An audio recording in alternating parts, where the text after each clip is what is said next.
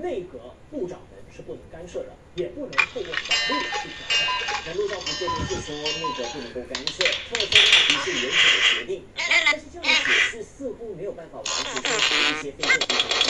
其中呢，自由律师团的总监在马一个表示，尽管为纳吉减刑是国家元首的决定，但是元首也只是根据特赦局的建议来行事，并没有自由裁量权。相反的，他指出，特赦局是由总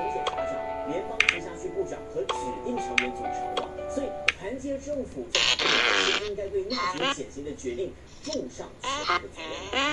除了捍卫自由律师团出演批评之外呢，曾经担任反贪会特别行动组主任的巴里，他也发文到太空说，特赦局的决定显示了我国的司法制度垂危，也间接证明了有钱人跟穷人的待遇是不一样的。他们质疑纳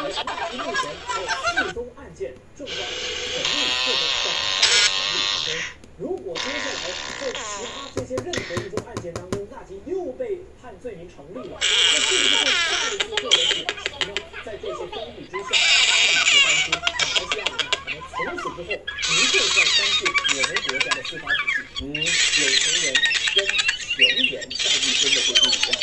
这个可能同样是为什么有那么多人在监狱里面等待特赦的机会，但偏偏纳吉的特赦申请反而就被